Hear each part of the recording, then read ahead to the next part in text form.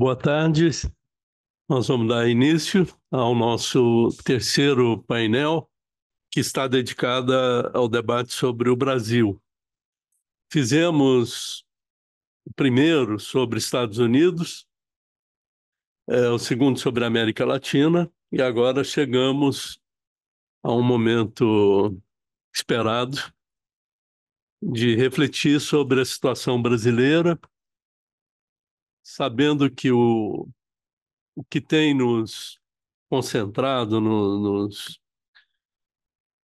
é, nos questionado, é, de um lado, a ascensão da extrema-direita na nossa região, na nossa grande região, no país, em, outros, em outras regiões, como a Europa, que vamos dedicar um quarto painel a esse tema.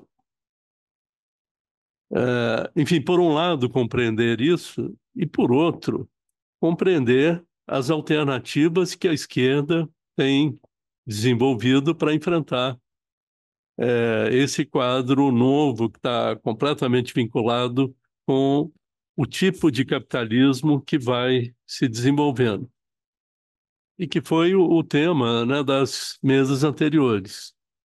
Bom, hoje a mesa vai ser coordenada é, nosso querido companheiro, e, e ele vai fazer a apresentação da mesa.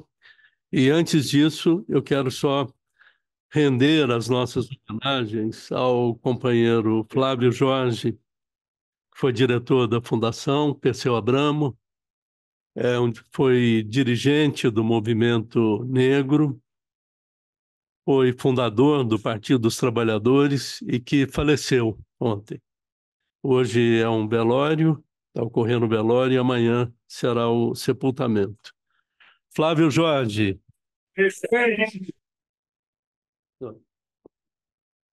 Obrigado, Carlos.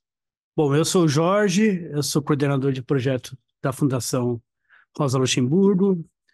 Vou estar responsável aqui pela coordenação dos trabalhos hoje. Gostaria de saudar a todas e todos e desejar aí um bom debate para a gente nesse dia de hoje. Carlos antecipou, o desafio dessa mesa agora é justamente refletir sobre o momento que a gente se encontra, passado aí um ano e meio praticamente de governo, em que a gente é, verifica encontrar uma realidade, uma conjuntura bastante desafiadora com uma extrema-direita de sede organizada nas ruas e também fortalecida no Congresso, enfim, colocando bastante muitos entraves para o avanço de um projeto para o qual esse governo foi eleito.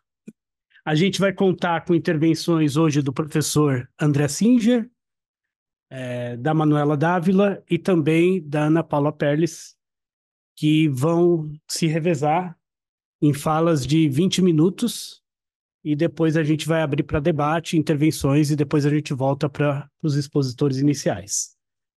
Queria passar então a palavra para o professor André Singer, cientista político, e agradecer mais uma vez pela oportunidade de estar aqui conosco.